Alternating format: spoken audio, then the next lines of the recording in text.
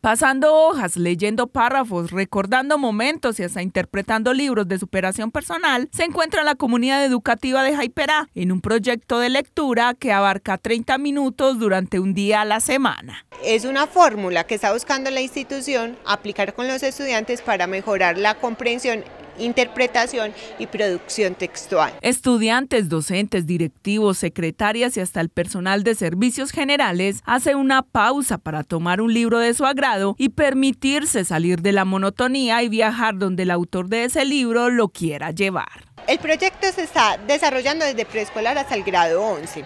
Lo estamos trabajando eh, una vez por semana pero lo de los libros recomendados se hace diariamente, ya que el, cuadro eh, se encuentra ubicado dentro de las aulas de clase a fin de que los estudiantes estén observando.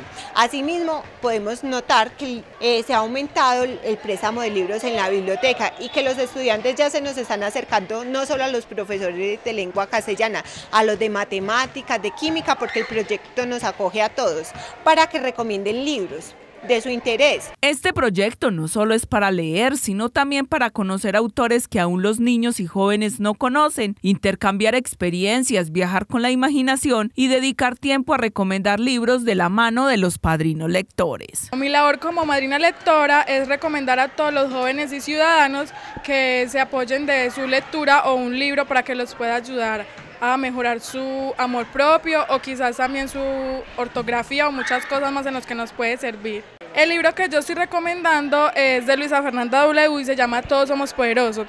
Este libro es para que cada uno dé un paso a sí mismo en el amor propio y sepamos pues cómo controlar muchas cosas de nosotros y muchos impulsos. Durante la lectura se activan regiones cerebrales que propician procesos de imaginación a partir de los acontecimientos de la narración y vienen a la mente recuerdos y confrontaciones con experiencias personales, un excelente hábito que se ha perdido con la llegada la tecnología. Es importante retomarlo no solo en las instituciones, sino también en los hogares.